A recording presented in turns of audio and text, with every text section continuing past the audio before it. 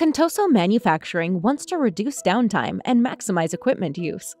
Despite the complexity of their operations, they will implement a global predictive maintenance solution built by a partner. Since Contoso needs the solution to work with their current infrastructure and be replicable at other sites, they've decided to use Azure's adaptive cloud approach. This approach uses consistent ways to manage, secure, develop, and deploy solutions across multiple sites and with existing investments. Let's see it in action. Meet Anka, the plant manager, tasked to deploy this partner-built predictive maintenance solution at their plant in the Netherlands. She relies on her operations engineer, Tali, to represent a critical robotic arm and its characteristics as a digital asset. Tali uses Azure IoT operations because these edge services embrace industry standards like OPC UA. She selects the data points she needs and the event she wants to capture, so her team will receive notifications when the robot arm is off or if there is a warning. Next, the data needs to be transformed so it has meaning to the partner's solution and to Contoso's business teams. Because Azure's adaptive cloud approach breaks down data silos, the data from the robotic arm can be used in both the partner's predictive maintenance solution and Contoso's other applications and reporting. Tali will also configure IoT operations data to automatically land in Microsoft Fabric, a SaaS data analytics platform.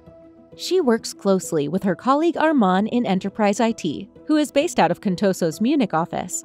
Arman uses the Site Manager feature in Azure Arc to monitor and manage all resources from the Netherlands plant and has one central view of current alerts and updates.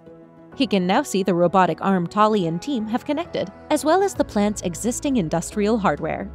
Arman can also see the newly installed servers and the Kubernetes service clusters that are running the IoT operations workloads.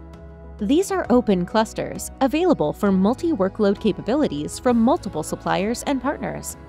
Data is now flowing to the places it is needed, to the partner application running locally, in the cloud, and to the rest of Contoso's operations.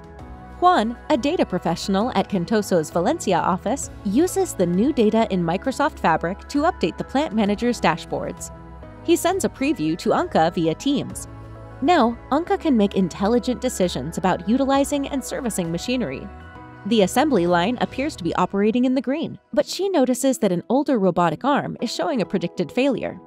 She adjusts the team's maintenance schedule and notifies a technician, with Azure's adaptive cloud approach, Contoso and their partner can now repeat this solution at another site.